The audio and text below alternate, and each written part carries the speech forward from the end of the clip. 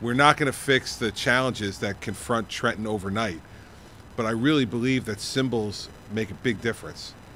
And the symbols of Thomas Edison State College right here, um, right on the main street where our state capitol is, transforming not only the landscape, but transforming the lives of the people who enter into this building, um, is an extraordinary way to get going.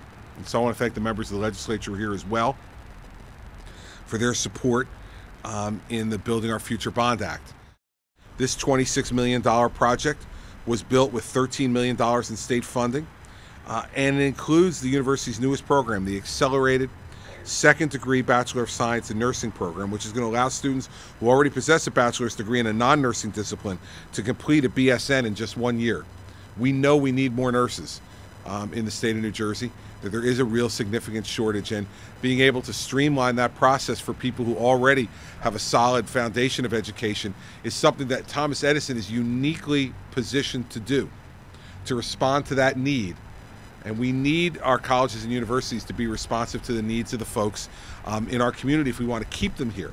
Because if we don't respond, they'll go to another state that is responding, and they'll not only get their education there, but they'll work there. And that brain drain for the state of New Jersey is not something that we want to see happen. While I am certainly not a fan of debt, um, I am a fan of investment in things that will pay off much beyond what we've invested.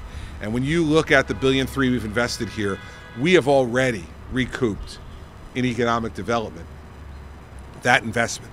And that will be an investment will pay on and on. So I hope that future governors will learn from this experience, that they won't wait another 25 years to invest in capital money in our colleges and universities. There's no reason for us to have to play catch up here.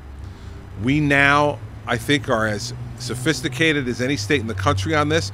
We need to move ahead and move forward. And I hope that future governors will take that into consideration when they see the success of what's happened here and the students that will matriculate here and ultimately be produced for our workforce.